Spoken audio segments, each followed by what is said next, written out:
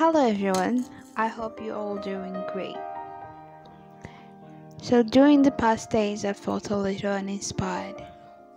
So, I sat down and thought to myself, and it clicked let's paint from life.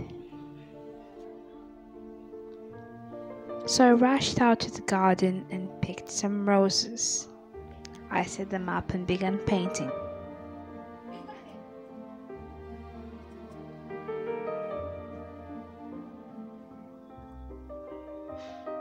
And this was actually my first time doing this.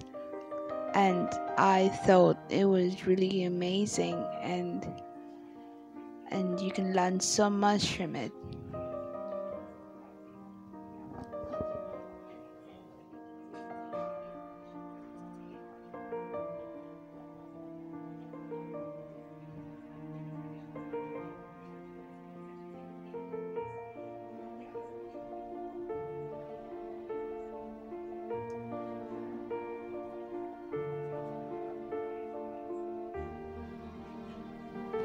I'm getting better in painting.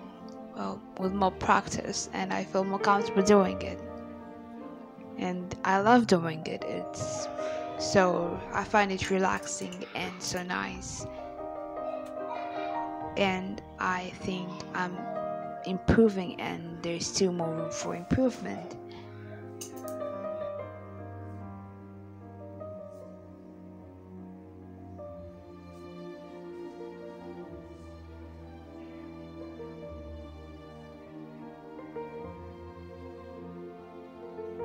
I've been someone who's been dealing a lot with pencils and graphite, charcoal, but I recently began introducing myself to painting and I find it therapeutic and so relaxing and so nice. I feel calm as I paint.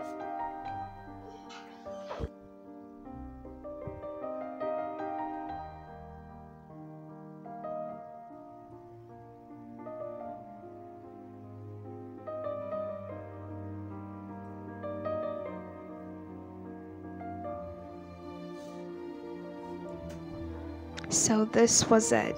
I love the process. I love painting the roses. And I look forward to trying this again.